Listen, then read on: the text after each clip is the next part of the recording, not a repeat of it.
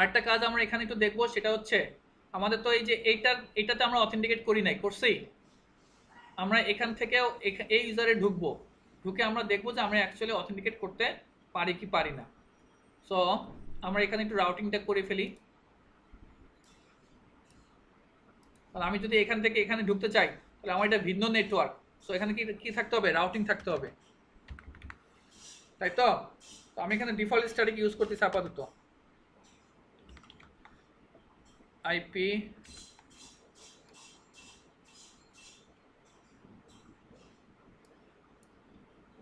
IP route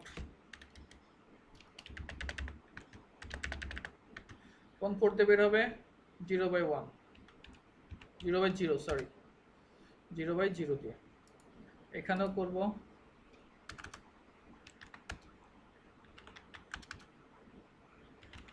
IP route gigabit zero by তাহলে কি হলো? আমার সবার সাথে কানেক্টিভিটি এখন স্টেবলিশ হবে, তাই তো? এখন এখানেও তাহলে আমরা কাজটা করে ফেলি খুব দ্রুত। আশা করি এখন তো আর বলার দরকার নেই, বেশি details triple A new model triple A authentication authentication log ইনের সময় ডিফল্ট নাম দিচ্ছে। গ্রুপ দিব ট্যাকাস লোকাল। ঠিক আছে? তাহলে triple A authentication log in default group ট্যাকাসকে log in তারপরে ট্রিপলে না, আমাদের ট্যাকাস সার্ভারের আইপিটা দিব। ট্যাকাস সার্ভার হোস্ট কত?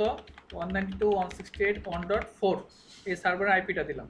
এন্টার ট্যাকাস সার্ভার কিটা দিব? কি আমরা দিছিলাম কি? বিডিআইটি তাই না? কত সেশন আমরা কি দিছিলাম? মনে আছে?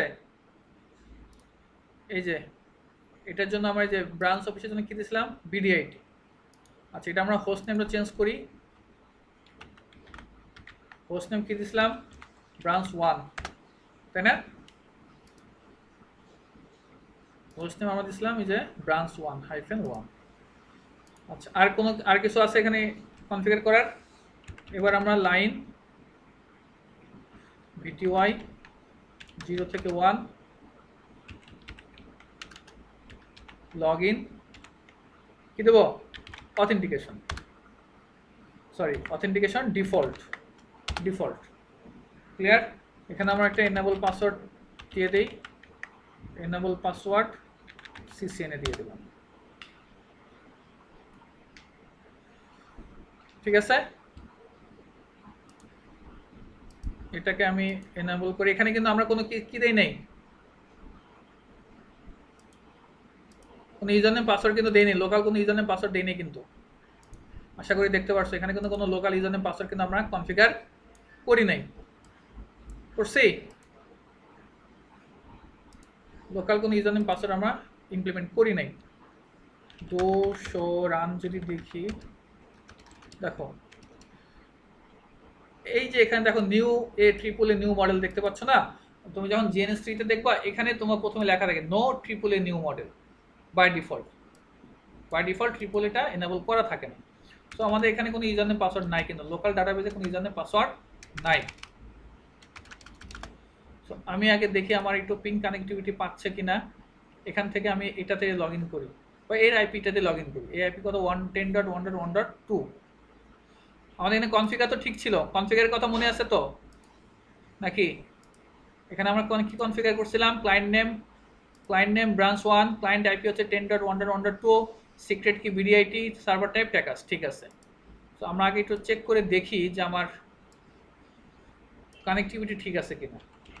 Ping ten dot one dot one dot two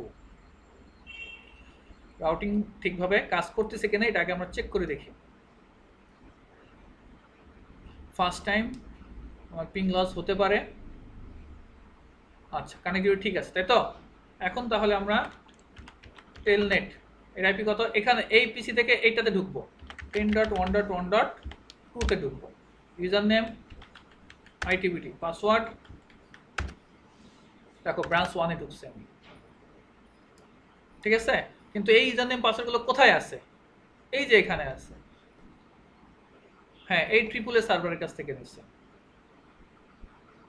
clear so তাহলে এটা সুবিধা কি হলো? সুবিধা হলো তুমি যে কোনো রাউটার ঢুকবা, তোমার এই রাউটারগুলোতে কিন্তু তোমার ইউজার নেম পাসওয়ার্ড ধরো একশো দুইশো জন ইউজার আছে। তোমার এই একশো দুইশো জন ইউজার নেম পাসওয়ার্ডগুলো তোমার এই রাউটারে কিন্তু লেখার দরকার নাই। যদি তুমি লোকাল ডাটাবেস থেকে না নিতে চাও, তোমার যদি একটা ব্যাকআপ এই ট্রিপলে সার্ভার থাকে, তাহলে তো তোমার এই লোকাল ডাটাবেজ আর এগুলো রাখার দরকার নাই। দরকার আছে? কোনো দরকার নেই। সো এখান থেকে কিন্তু আমি সেন্ট্রালি কিন্তু আমি ম্যানেজও করতে পারতেছি। আমি এখান থেকে আমি প্যাকেট ট্রেসারে হয়তো ওইভাবে তোমাদেরকে দেখাতে পারতেছি না, কিন্তু এখান থেকে দেখো আমি কিন্তু সেন্ট্রালি কী করতে পারতেছি? সব কিছু কন্ট্রোল করতে পারব।